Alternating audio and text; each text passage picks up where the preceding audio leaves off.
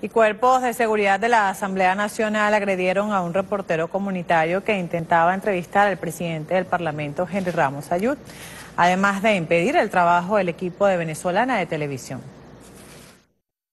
Esta Asamblea Nacional y funcionarios de esta Asamblea Nacional me quitaron la cámara, me agredieron en la entrada.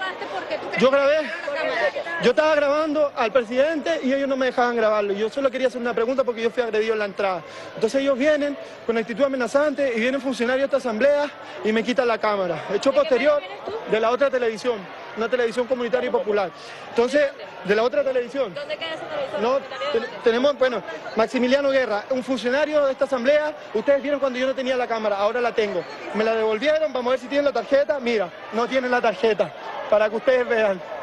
Para que ustedes vean, aquí tienen. No tiene la tarjeta, me la quitaron. Me la quitaron. Esto es lo que ustedes quieren elegir, esto es lo, por lo que ustedes quieren firmar. Nuestro corresponsal que le estaba cubriendo la fuente de la Asamblea Nacional en el día de hoy, Maximiliano Guerra, estuvo por acá y fue agredido por la seguridad interna, no por la Guardia Nacional, por la seguridad interna de la Asamblea Nacional. Lo golpearon, le quitaron la cámara, le robaron la tarjeta, fue dejado. Tenemos las pruebas, tenemos las imágenes. Tenemos pruebas. Mira, está sucediendo algo con Venezuela de televisión. ¿Eso BTV? Mira, mira, está viendo la BTV. Yo voy a enseñar lo que está sucediendo en estos momentos con BTV. A BTV le están impidiendo que grabe. Yo tengo una cámara aquí, no sé si BTV me estará grabando en este momento. No dejan grabar a venezolana de televisión, lo dejan grabar.